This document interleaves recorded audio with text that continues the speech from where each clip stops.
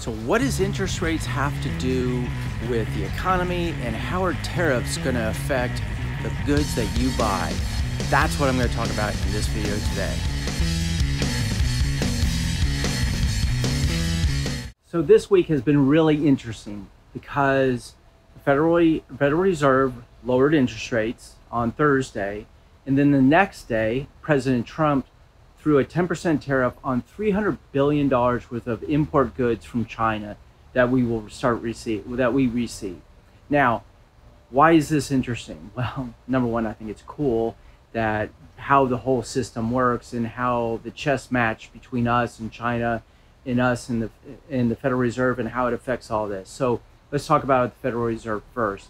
First of all, the Federal Reserve controls uh, the cost of money that is basically lent out to you and I and corporations. Uh, the Federal Reserve uh, monitors monetary policy. Uh, they also um, oversee the banking system and they protect us, the consumer, to make sure that we're not getting ripped off. So the move on Thursday was to raise or excuse me, lower the federal funds rate, which is the um, the interest rate that um, is charged to banks when they borrow money from us. Okay, makes sense. Okay, so when the banks bar- lend it to us, they mark it up so that they can make money too. So you got the federal funds rate. At now it's between two and two and a quarter, and then the banks will then lend it to you at whatever the rate is, and they'll make a profit in between some there, somewhere there. So this what this does is is it creates cheaper money, which means mortgage rates are going to go down, uh, car loan rates are going to go down, personal loans are, uh, rates are going to go down. More in a bigger scope scope of things, uh, corporate uh, borrowing will be cheaper, so the cost of money to borrow for a corporation will go down. Um, these are all good things because if you think about the economic machine, and excuse the bird, um, the economic machine is I buy something from you, you take that money and you buy something from somebody else, and so on and so forth. Well, with credit, you are able to buy more with the idea that you're going to pay it back in the future. Well, unfortunately, that's how, with cheap money, you can create credit bubbles like we saw back in 2007 to 2009, where prior to that, the say seven years prior to that, people were able to borrow money at really, really low rates and then uh, buy stuff that possibly in the future they couldn't afford. And it created a credit bubble, and that bubble burst, and that's what the housing crash was all about. The thing about all this is, since 2009, we have just gone like this, or maybe like this to you. We've just gone up and we've had a couple bumps in the road, a couple of the 11 and I think 16, 2011, 2016, but essentially we're at all time highs on the stock market. My concern is that with unemployment at its lowest, um, earning corporate earnings are strong, um, people are working who want to work, the system's doing well, and now all of a sudden we lower interest rates because in their opinion, the way I interpret it was to prolong this to go on longer, prolong the markets to go higher, prolong the economy to keep going. Um, they're trying to get ahead of the potential uh, recession. But I really think this has a lot to do with tariffs and the movement uh, that President uh, Trump is uh, making a move with China on raising tariffs. Now, a while back, he raised, he put a 25% tariffs on 250 billion dollars worth of goods, different products, uh, different segment of products, and then yesterday, the second, yeah, second, he uh, put a 10% tariff on 300 billion dollars worth of goods. Part of that 300 billion is our day-to-day stuff. So apparel, so like a shirt like this, shoes, uh, general goods that we buy every day in our in the United States. The challenge is is now manufacturers and people who sell these products. So me, uh, so for instance, this shirt possibly will be 20, 10 to 20% more in the future because now China has to counterbalance that tariff cost to make money. So it's just this constantly moving up staircasing game that we're playing.